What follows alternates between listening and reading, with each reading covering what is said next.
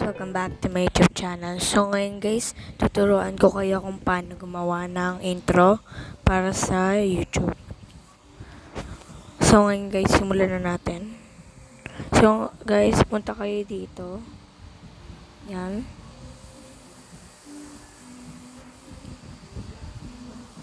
Tapos, pindutin niyo yung 6, 16, 19, 9 pala. Ito na lang guys. Yan. Pindutin niyo yan. Tapos, pindutin niyo tong background. Tapos, pili kayo ng mga background niyo dyan. Itong black na lang. Para makita yung pangalan. Guys. Baan natin siya ng konti kasi maiksi lang yung mga yun, yung mga yun. Tapos punta tayo ng layer. Tapos pindutin nyo to. Wala ako.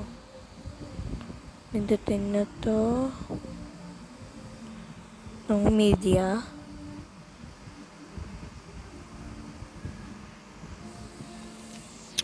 Yan guys. Tapos punta ulit tayo ng background. Ay, background. Wag pala background. Sorry guys, nagkamali ako. Hanap pala tayo ng pictures natin. Kayo guys pumunta sa background. Ah. Okay. Lawla ako. Pili tayo ng pictures. Yan.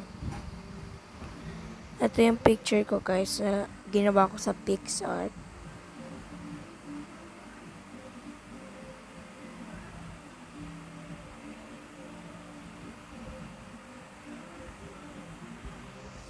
And guys. Tapos, punta ulit tayo ng layer. Tapos, text. Isulat niyo yung pangalan ng YouTube channel nyo.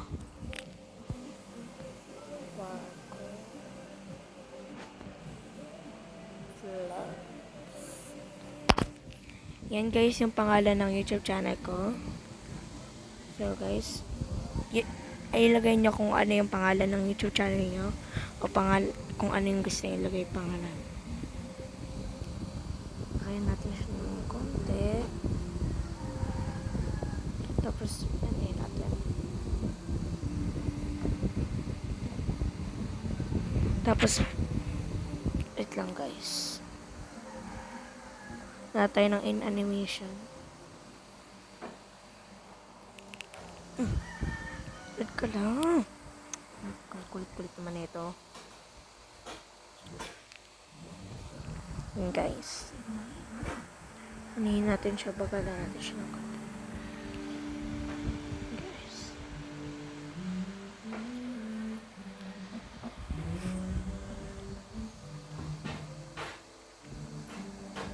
Yan guys.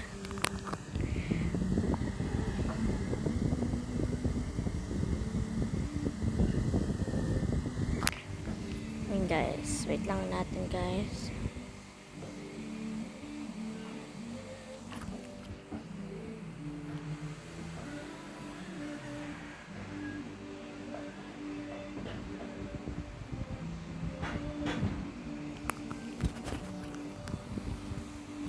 Tapos punta ulit tayo ng media. Tapos background. Tapos pili tayo ng black.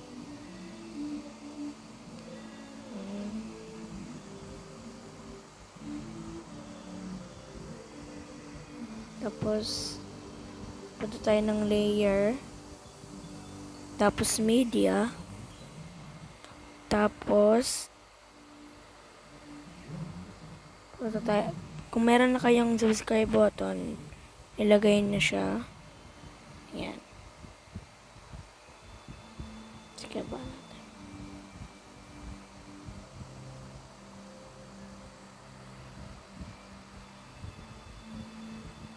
Yan guys. Lawin natin siya.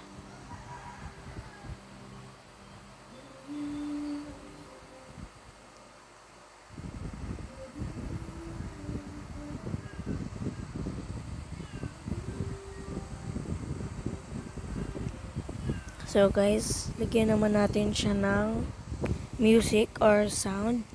Punta kayo sa audio. Yan guys, marami na akong mga sound effects dito. Yan, punta tayo. Ito pa lang yung pang intro kung ano, yan. Lagay natin yung guys.